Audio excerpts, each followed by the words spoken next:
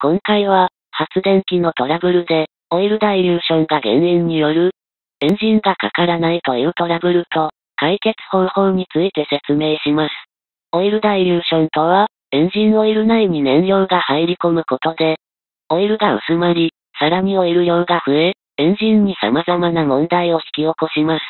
問題が発生したのは、大寒波が来た2017年1月のことでした。リチウムイオンバッテリーの充電のため、発電機のセルを回しましたが、なかなかエンジンがかかりません。寒かったので、エンジンがかかりにくいだけかと思い、チョークを使いながらエンジンをかけましたが、エンジンがかかりかけては、止まるという症状でした。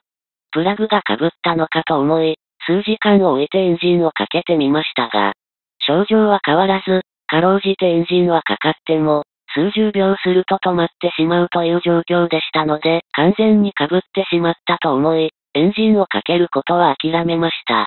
幸い、バッテリーの残量は空ではなかったため、節電しながら事なきを得ました。翌日になってもエンジンがかからないため、おかしいと思いながら帰宅することになりました。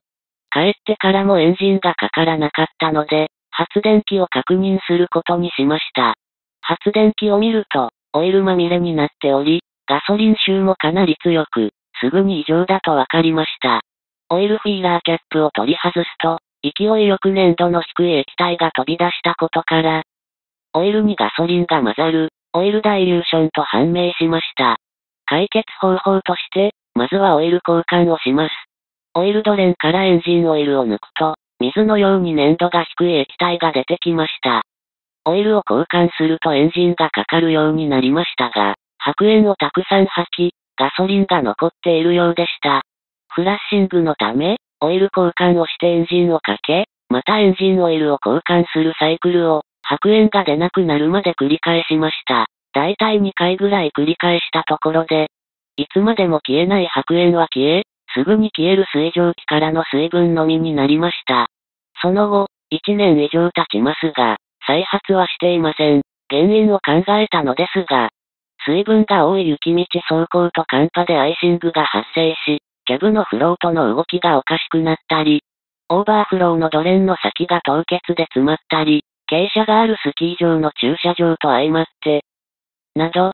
真相はわかりませんが、何らかの要因が重なり、エンジン内部にガソリンが流れ込んだのでしょう。別件の修理の機会に製造元の方たちと話しましたが、あまり聞いたことがないレアケースのようでした。